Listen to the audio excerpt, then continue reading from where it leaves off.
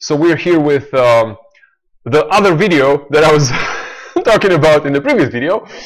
And it's another very short case study of using word magic to uh, get energy going up into network. What am I talking about here? Really briefly, somebody said every, all the network is this, and everybody sends signals. If your senses are really advanced, if you are high energy, if you come into any situation highly balanced, high energy, like the Buddha, noticing the whole of it and the deepness of it in its essence, uh, you will be able to gather attention and affection from network. People will reward you for um, your for spreading for spreading good vibes, for pacifying nasty, angry situations, and for um, finding the useful diamonds in the crap, for finding the fertilizer in the shit that would make lotus flowers. So if you can turn people's shit into flowers properly, if you yourself are a fertile seed for growth and relaxation and understanding and evolution, network will reward you. People will reward you, or in some sense, network will reward you in some way. So to exemplify this, uh, I'll, I'll do this short case study. Um, in a group online, somebody posts about, okay, does this thing help with erection problems? Right?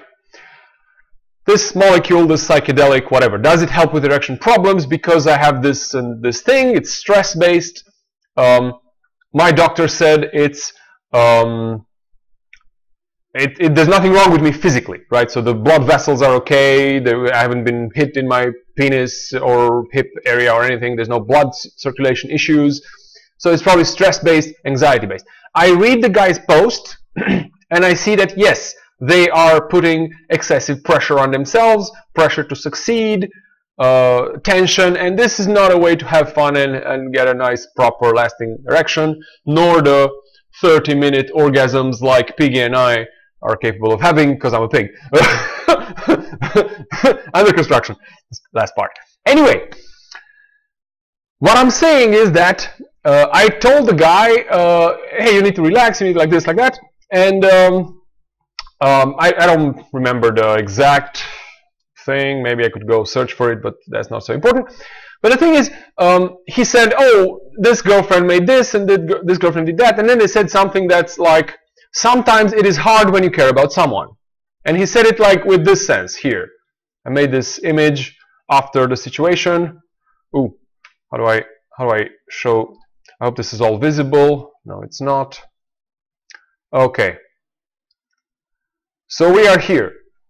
Sometimes it's hard when you care about someone. Sad face, right? And I read it as this but then immediately it spoke to me in the secondary sense, the metaphorical Shakespearean sense, which is the uh, psychedelic tripper stuff as well. Like, like the, this is the direct meaning of something, and this is the metaphorical meaning of something.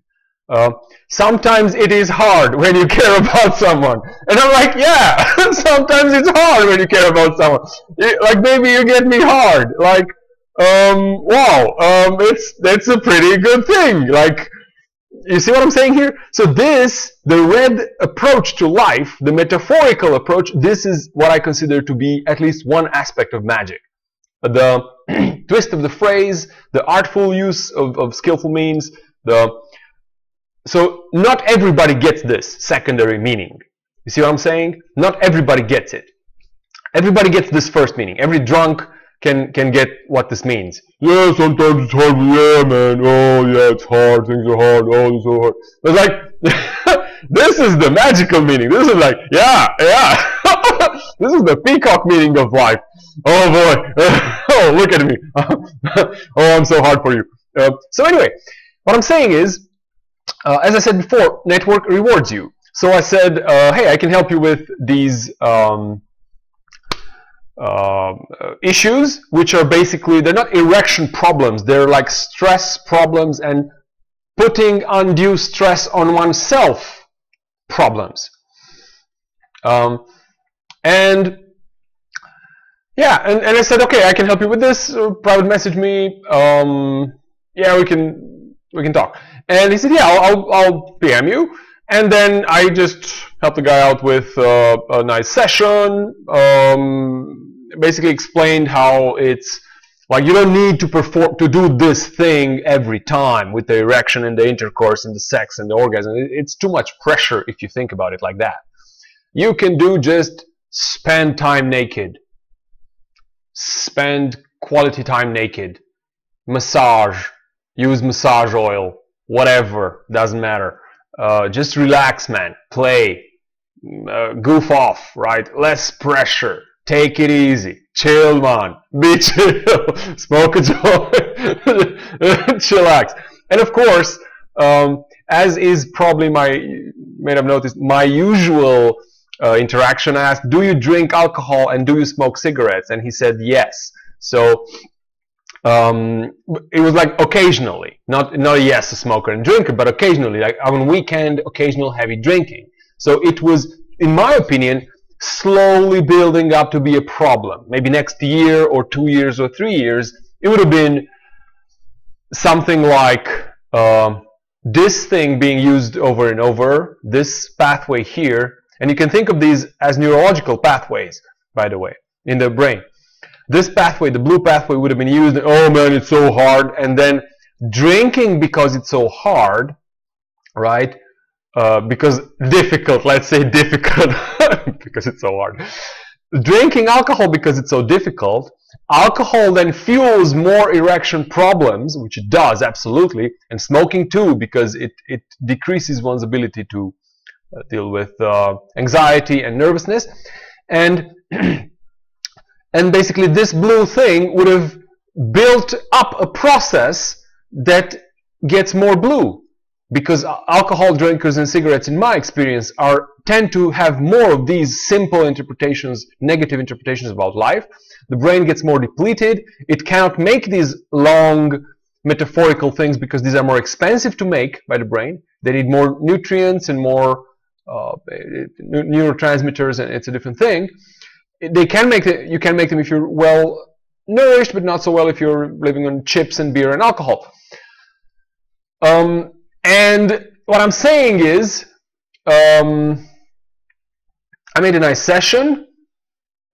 I said I offered my standard deal. Pay me something at the end of it if it helps you.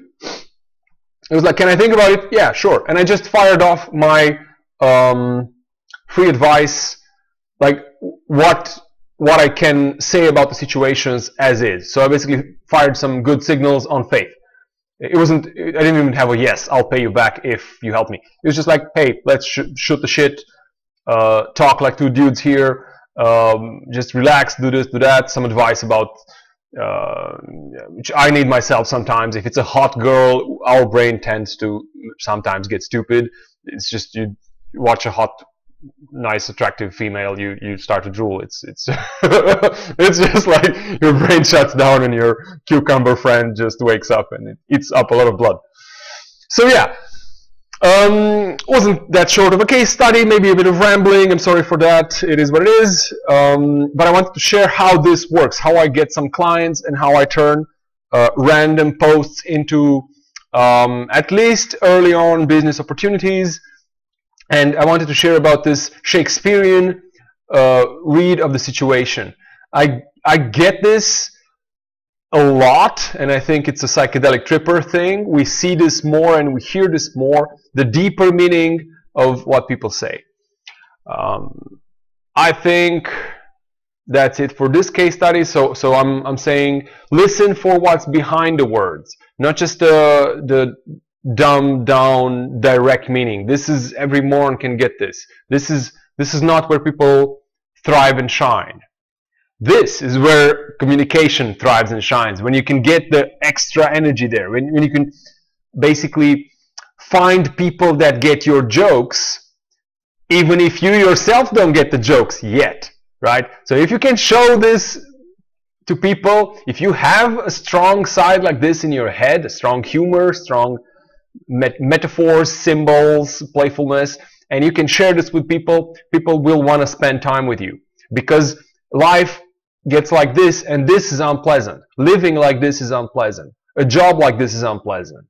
a husband or wife like this is unpleasant. If you can be this person, if you can refuel in a network sense, if you can, um, if you're, if you can, if you're the red guy, and again, I'm, I'm going to this guy and I'm making these associations in real time.